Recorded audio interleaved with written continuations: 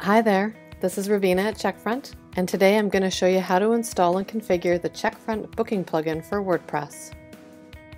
So we've gone ahead and created an installation of WordPress and activated a theme we'll be using for our demonstration website. The next step is to install the Checkfront plugin. From your WordPress dashboard, hover over the Plugins menu and click on the Add New link. This will bring you to the Plugins dashboard, where you can search for and discover new plugins to enhance your business website. For now, enter Checkfront in the search field at the top and press Enter. You should now be presented with the Checkfront Online Booking System plugin. Click the Install Now button to continue. When prompted, click OK to finalize the installation.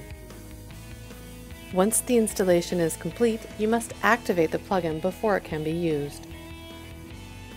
You should now see Checkfront appear in the Plugins menu to the left. Click on this to enter your Checkfront host URL. This is the URL you were given when signing up for your account and will be something like mycompany.checkfront.com. Enter the URL and click Update. It's now time to embed the Checkfront booking portal into your web page. In WordPress, we can use something called shortcodes to embed content into our pages. Launching the shortcode generator will bring you back into your WordPress account where you can configure the booking portal to suit your needs. You are able to configure different options that will change the behavior or appearance of the booking page on your website. For now, we'll just use the default checkfront in square brackets to display a standard version of the booking page. Copy this code and head back over to WordPress. We'll now go ahead and create a new page in which to embed the booking portal. Name the page in a way that makes sense to you. In this case, we'll go ahead with Book Now. In the content area below, add any text you wish your customers to see, and then paste the shortcode where you would like the booking portal to appear. Once you have done that, publish the page and see how it looks.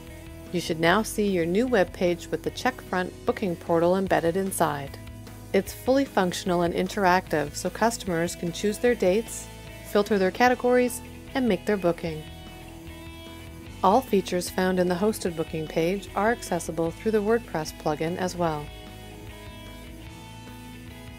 So there are a lot more options available to further customize the booking portal. We can add arguments to the shortcode to generate the behavior we're looking for.